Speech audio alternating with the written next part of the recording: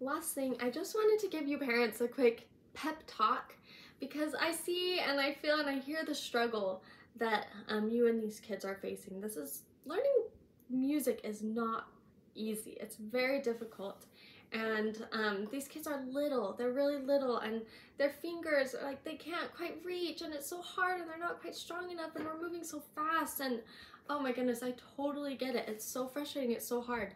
Um, so I just wanted to give you some words of encouragement as we go forward um, because right now we're kind of in the mire of we're learning the red chord and then we add the yellow chord and oh my goodness what's going on? So long term we're going to learn the chords and we're going to repeat them so much so so much. If they just do it a little bit every day again this will help them. But some kids even for them maybe that is a struggle. Maybe it's just a fight at home and you're just really having a hard time getting them to sit at the piano and do these things so maybe you just have them listen to the music and then follow along Maybe you just let them play on the keyboard and then you let it count as practice sometimes.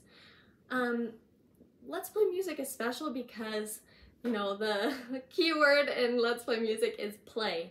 We want this to be play. We want music to be fun. We want it to be interesting. Yes, we want them to learn music. Yes, we want them to play the piano, but playing the piano is really not the point of Let's Play Music. And that's really, really hard to remember because we're focusing so much on piano skills and getting into the nitty gritty and make sure you use the correct fingering, make sure you use that bubble hand. You know, it seems like a piano class, but really what all this is doing is it's teaching them to hear the music, to understand the music. So if they're not getting the yellow chord, if they're not getting the um, blue or the red chord quite yet, don't worry. I had one little girl at one point that I just thought, she wouldn't get the red chord ever. I just thought it would just be forever. And um, by the end of Green Turtle, she didn't have the red chord. And um, by the middle of Yellow Arrow, she still didn't quite get it. She was still playing with one and five.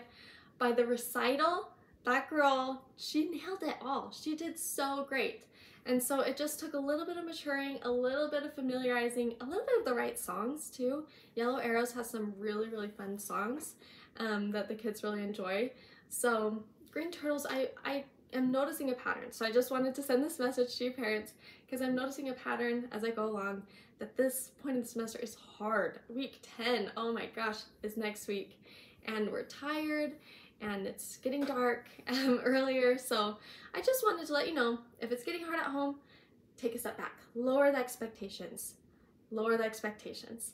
And just maybe set the timer for one minute. All you have to do right now is play the red chord for one minute and I'm gonna count it as you're practicing today. It could be as simple as that. So, and whatever your kiddo will think is fun. And I'm very open to the idea of um, sending the kids to me and let me practice with them. Um, something like $10, 20 minutes, and I can work with your kiddo and help them kind of overcome their roadblocks because I know as a mom, they don't they don't quite listen as well as they listen to a teacher. So I know that so, so well with my two kiddos. So I'm happy to take that for you. Just contact me um, if you're noticing some struggles and I'd be more than happy to um, meet with your kiddo before or after class or on another day of the week and we can um, work some through some things and see if we can make it fun for them again. So um, please contact me at all anytime. I love, love, love, love your feedback and I really want to know how things are going at home for you um, so that I can better support you and better support your kids and make it really fun for them and for you too. I don't want Let's Play Music to be let's suffer through music. so, all right, talk to you guys soon.